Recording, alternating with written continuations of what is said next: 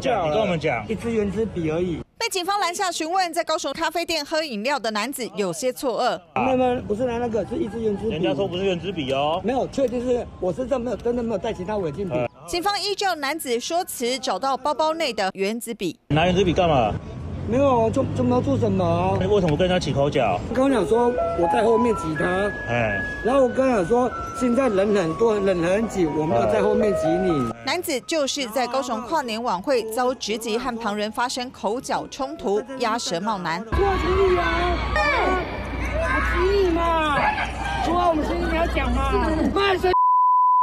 被直击在高雄跨年晚会舞台前起争执大吵，男子就是拿出这一支原子笔，遭误传有人持刀，演变成推挤，混乱场面。瞬间出现恐慌逃离潮，让不少民众大喊尖叫。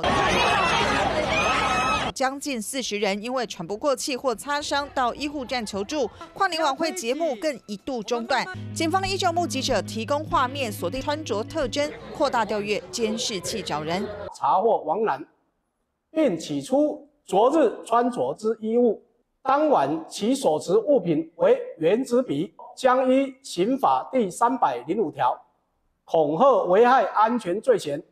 已请高雄地方检察署侦办。男子声称不知道会造成恐慌，引发跨年晚会离场混乱，遭警方以涉及恐吓为安罪移送侦办。三立新闻时事田翁玉文高雄报道。